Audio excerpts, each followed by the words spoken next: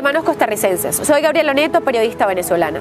Se aproxima un evento electoral en su país y en este sentido quería compartirles que yo, al igual que muchísimos venezolanos, nos vimos en la obligación de salir de nuestro país en búsqueda de un mejor futuro para nosotros y para nuestras familias. Tuvimos que abandonarlo todo, carrera, estudios, familia, amigos, trabajos, todo lo que habíamos construido durante muchísimo tiempo y con muchísimo sacrificio. Porque vivir en Venezuela hoy significa vivir en incertidumbre, vivir con miedo, con hambre, con terror a ser asesinado por la inseguridad. Pero quiero que sepan que Venezuela llegó a esto por culpa de un proyecto político que logró colarse gracias al descontento que existía entre la ciudadanía hacia los partidos políticos tradicionales.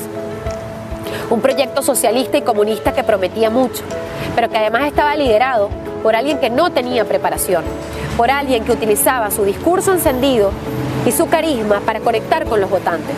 Es así como llega Hugo Chávez al poder y es así como llega la destrucción y el secuestro de Venezuela a la silla presidencial. Hoy somos cada día más los venezolanos alrededor del mundo que hacemos de otras tierras nuestro hogar. Y en nombre de todos los venezolanos que vivimos acá en Costa Rica queremos darles infinitas gracias por permitirnos hacer de esta tierra nuestro hogar, por permitirnos tener una esperanza de futuro. Pero también en nombre de todos ellos queremos pedirles que este próximo 4 de febrero salgan a votar, pero que lo hagan de forma consciente, que no se dejen llevar por posturas ante una situación determinada, hacia un tema determinado polémico.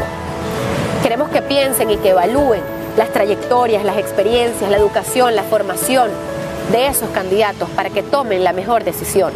Queremos que de verdad voten por algo y no en contra de algo. Tienen un país maravilloso, cuídenlo, quieranlo, protéjanlo, pero sobre todas las cosas piensen en esas futuras generaciones que aún no pueden votar, pero que sin duda alguna pagarán las consecuencias de las decisiones que ustedes tomen hoy, como nosotros las estamos pagando en Venezuela. Se los pedimos por sus hijos y por los nuestros.